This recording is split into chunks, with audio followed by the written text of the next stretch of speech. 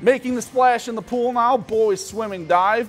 Bemidji hosting Fargo South, starting with the 200 freestyle right out of the gates in lane five. Bemidji's Luke Yards sticking with the pack.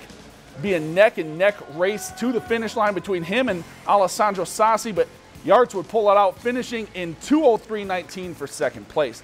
Picking things up down the stretch now in the 50 free. Lane three, Bemidji's Gabe Goodwin ekes out the victory in 24.86 seconds, just half a second faster than second place. Then in diving, Hawk and Thorsgaard attempting the forward two somersaults tuck with the judges' scores of six, six and a half, six and a half. Good for a second place finish, but Fargo South gets the victory 93 to 90.